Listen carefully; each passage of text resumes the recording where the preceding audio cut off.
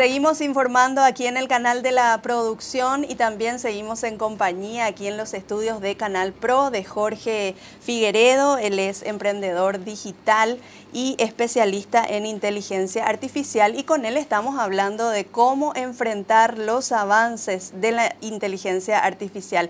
Y vamos a tratar ahora el tema eh, a nivel local, Jorge. ¿Cómo estamos con ese avance justamente de la IA en nuestro país y sobre todo cuál es el impacto que está generando y en qué rubro sobre todo? Bueno, a mi expertise, gracias a Dios me tocó hacer más de 30 charlas y conferencias con empresarios y poder palpar un poquitito cómo, ellos lo están viviendo, ¿verdad? Eh, entendamos que esto inició en marzo del año pasado, o sea, eh, ni siquiera hace un año que estamos hablando de IA, y Paraguay eh, tímidamente empezó a, a, buscar maneras de entender qué es lo que está pasando. Y de charlas que teníamos más o menos en junio, mucha gente me decía, yo, yo estoy fuera de esto, o sea, yo tengo miedo a miedo total, sí. Eh, te comentaba el caso de una persona que me dice, yo le, prohibí a mis hijos que usen esto.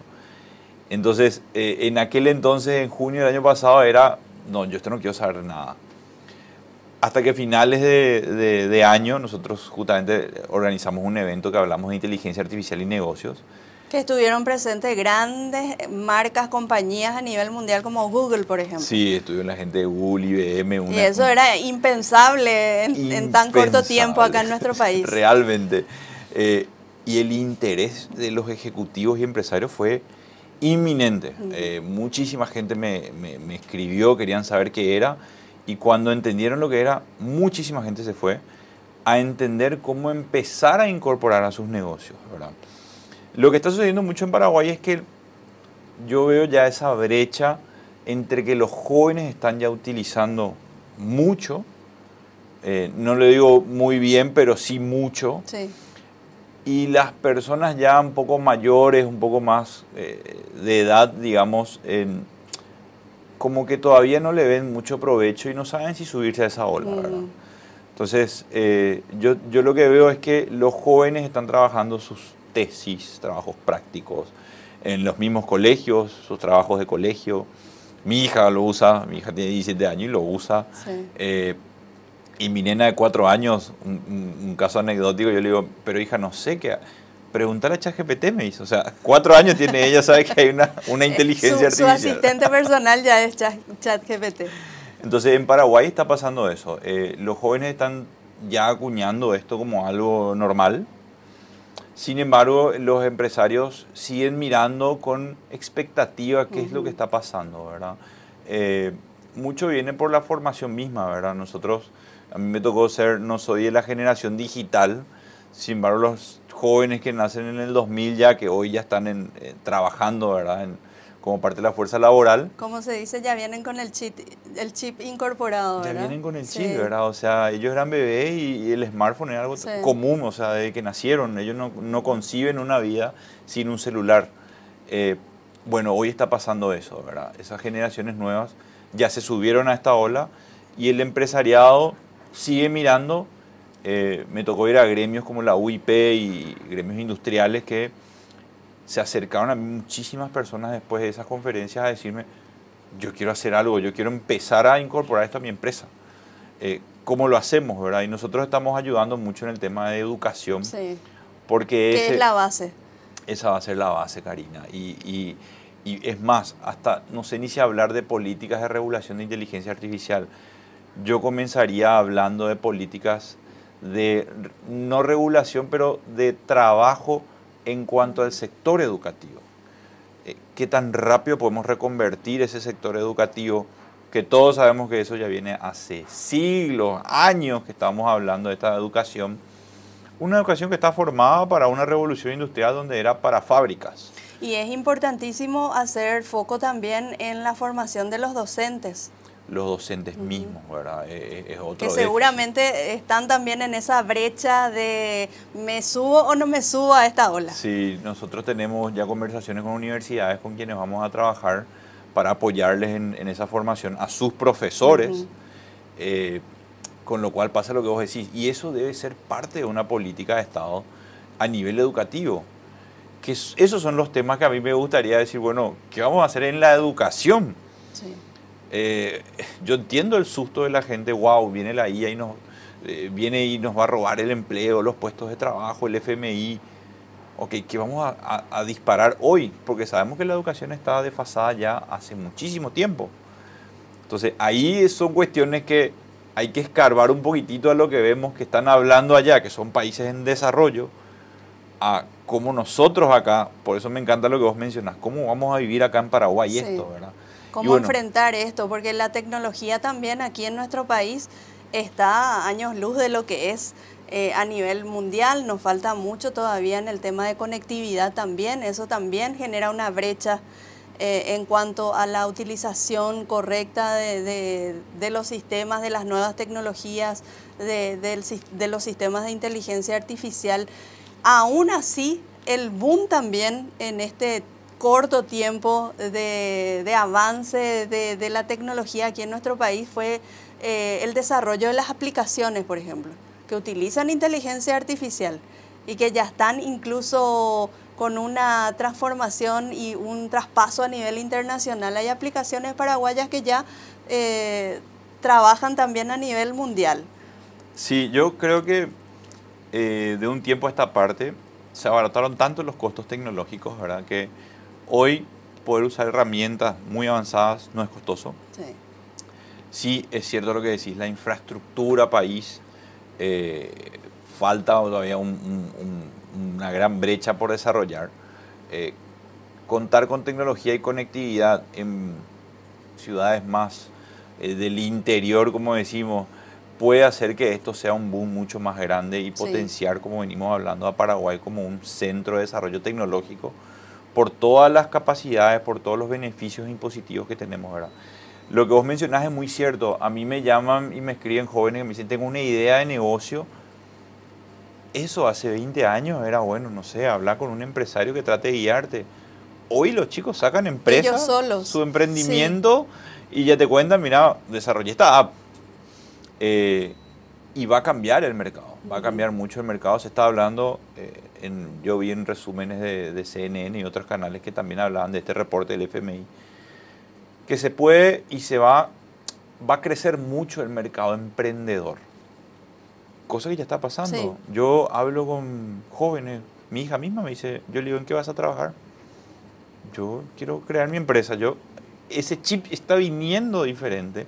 No como nuestra época de yo quiero ir a trabajar en tal empresa como tal, en tal cargo, ¿verdad? Incluso en, los, en, los, en las empresas ya están eh, solicitando los currículums eh, con algún tipo de conocimiento en el área tecnológica, sobre todo también una formación en inteligencia artificial. Eso ya se está generando aquí en nuestro país también. Sí, y, y un ejemplo que yo hago sencillo, tiempo atrás, eh, cuando sale Excel y empiezan a salir las herramientas de Word, PowerPoint, comenzaron a salir las mismas búsquedas que decía con conocimiento de Excel. Entonces yo tenía una persona que era un contador con conocimiento de Excel. Yo tenía una persona de tecnología que también te pedía con conocimiento de Excel. Como que el Excel era la herramienta para poder llevar tus costos y poder trabajar. Hoy LinkedIn justamente lanzó un informe que creció exponencialmente las búsquedas con conocimiento de IA. Yo no te pido que seas un experto, pero puedes apoyarte en la IA para hacer mucho más rápido tu trabajo. Y ahí empiezan las buenas prácticas que yo te comentaba hace rato. Hay un concepto que se llama AI First, que es inteligencia artificial primero, que es, tengo un problema, pregúntale, yo le pregunto a la inteligencia artificial primero. Sí. Para quitarme, y ahí sacas tu conclusión ahí empiezo a trabajar, uso mi pensamiento crítico para empezar a evaluar el problema. Pero este, este, es un debate que desde, desde que se creó el trabajo creo que existe, ¿verdad? Que los jefes dicen, estoy cansado que mi gente me traiga problemas y no soluciones. Este es el momento en que la IA te puede ayudar a que tu gente te traiga el problema y la solución, ¿verdad? Tienen que traerte una propuesta lo que tenemos que lograr es que eso sea ya algo común, que, sea una parte de la formación misma que vos decís, ¿verdad? Que tengas conocimientos de IA va a pesar mucho y ya empieza a pesar acá también. Sí. Porque la eficiencia se ve marcada en atención al cliente, en, en los trabajos comerciales, responder un correo con IA es mucho más rápido ahora. No porque la IA te responde todo, pero sí te da una idea de cómo encarar esa respuesta. Claro. Entonces sí, exponencialmente va a ir creciendo ese tipo de búsquedas porque ya se ve, ya hay informes de que la eficiencia crece en un 20%, ¿verdad? o sea, la productividad crece en un 20% y la eficiencia en un más del 50% se espera que crezca de las personas y las empresas que usan IA. ¿verdad? Y ahí es lo que te dije el otro, en el bloque anterior también que estábamos comentando, hay ya una brecha que le llaman los ganadores y los observadores. Es decir, ¿cuáles son las empresas que ya están formando a su gente?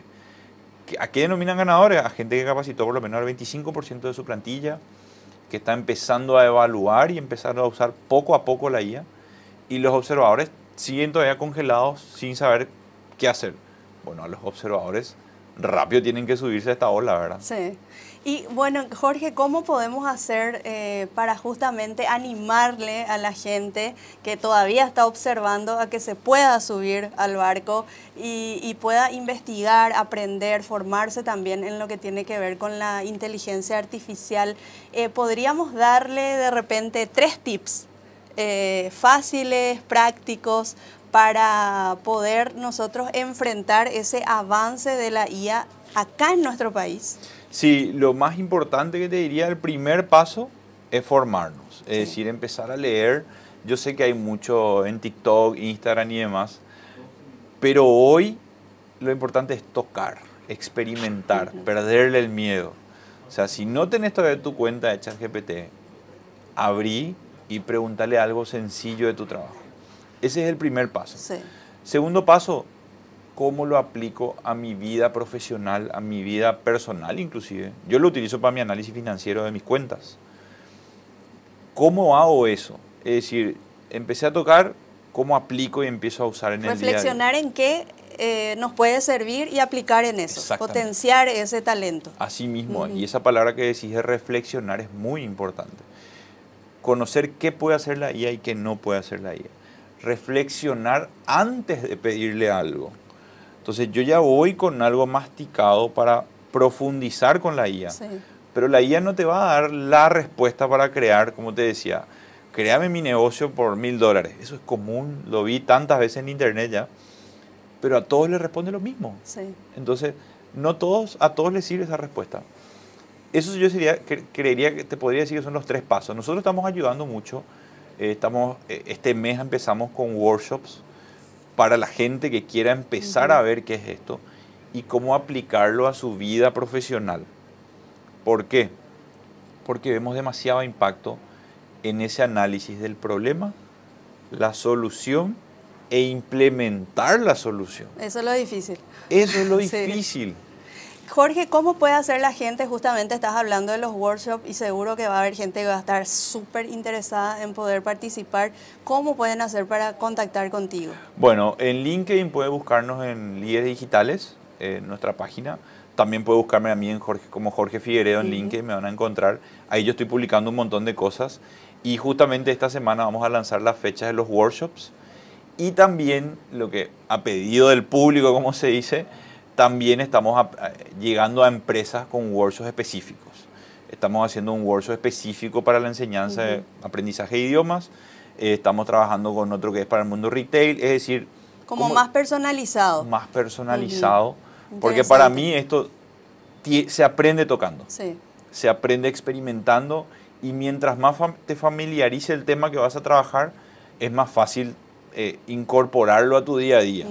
Entonces pueden seguirnos en Líderes Digitales en LinkedIn, me pueden seguir a mí y nuestra página, nuestra página web es líderesdigital.es. Eh, ahí vamos a lanzar el calendario y se van a poder empezar a inscribir a estos workshops y, bueno, invitarles a que empiecen a experimentar. O sea, pierdan el miedo y experimenten. Ese es el mensaje. Porque como te decía, nuestro propósito más fuerte es potenciar el talento humano con inteligencia artificial.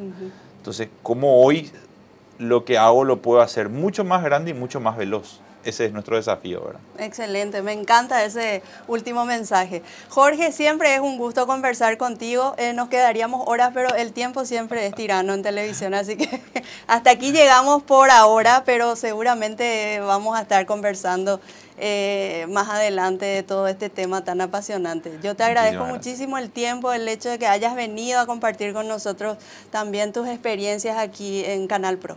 Gracias Karina, gracias por la invitación y es un placer para mí compartir contigo esto. Me parece que lo que están haciendo es genial porque ver cómo se está difundiendo en Paraguay la tecnología es algo que falta y es necesario para quitarse ese miedo. Así que te felicito nuevamente por esta iniciativa y el programa y, y, siempre a las órdenes. Me encanta venir cada vez que me invitas. Muchísimas gracias. Aquí siempre te vamos a esperar.